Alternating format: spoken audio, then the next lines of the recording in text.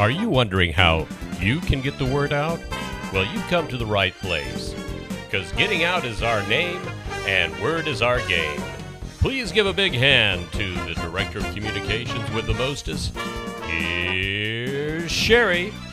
Hi, I'm Sherry DiGiovanna, Director of Communication at First Unitarian Universalist Church of Nashville, which we have affectionately branded as FUUN.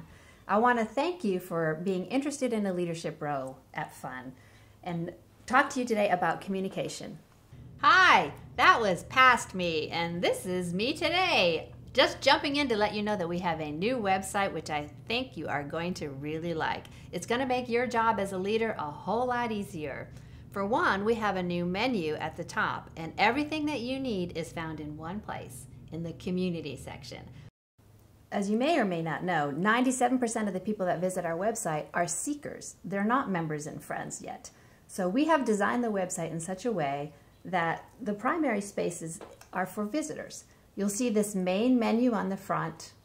That's largely for seekers. So before we go there, I want to tell you about the homepage. On the homepage, I think you'll notice that the announcements are now organized by category. They are announcements, events, and engagement opportunities, which is your call for volunteers. That should help people find your announcements much easier. So how do those announcements get there? That's what we want to talk about. We're here as a communication team to help emphasize your announcements, sort of like someone might wear a bright red lipstick to emphasize their lips. I want to show you where you can find information that will help you. It is now located all in the same place, so it's easy for you to find. It's on the community page under leadership resources. So you click on the community tab or the community menu item and you scroll all the way down to the bottom and you'll see a purple for royalty, a purple colored section, and that has all the leadership information that you'll need. Now that we have our Breeze member directory, which is accessed through a password, and we have an archive that houses all of our important documents, such as our bylaws, our policies and procedures, our budget reports, they're also accessed by a password. We no longer need to have a members only area on the website. That makes your job easier. All you have to do is go to the community page and click on our archive and files button, and you can find anything that you're looking for. Happy hunting! If you click on communication responsibilities, you're going to learn about one of the most important things about being a leader, communicating. So what? You have something to say? You want to tell somebody something? That's awesome. You should have told me. Let me show you how to do that. If you click on how do I get the word out, we're going to show you just how easy it is. We have lots of ways of communicating at FUUN. We have digital signage in our social hall. We have a weekly bulletin that we print and pass out on Sunday mornings. We have a weekly email that goes out on Tuesdays. We have a bulletin board or two. We have flyers sometimes and we have social hall tables. So how do you manage all of that? Let me show you how easy it is. So this is what you'll see when you get to the Getting the Word Out page.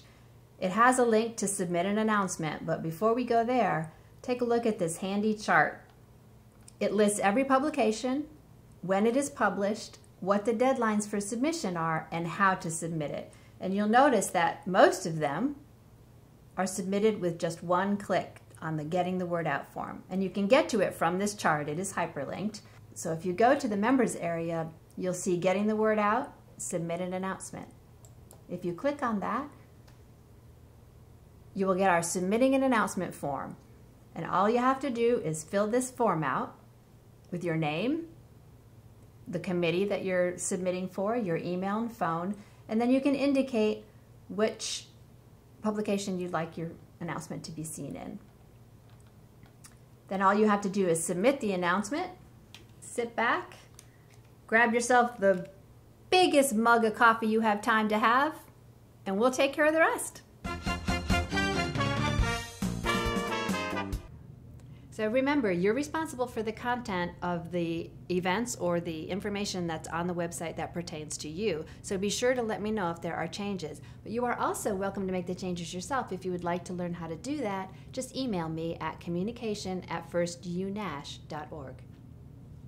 Something else new is that we now have blogs, such as the Ministers, Social Justice, Committee for the Larger Faith, and the Chalice Fire blogs, which differ from three announcement categories I mentioned earlier the announcements, events, and engagement opportunities in that they're not as time sensitive. They're musings, testimonials, and in depth information. We'd welcome blogs from other committees as well, so if you're interested in that, just contact me at communication at firstunash.org. We also try to protect our members and we do not publish personal email addresses. So what we have are email aliases such as worship at thefund.org or beloved at thefund.org. So if your committee, uh, each committee has one of these and it's your responsibility to let me know who is to receive the emails. The Communication Committee has also developed branding guidelines that we'd like you to be familiar with and to respect. You can find those on a PDF on this same website page, right here.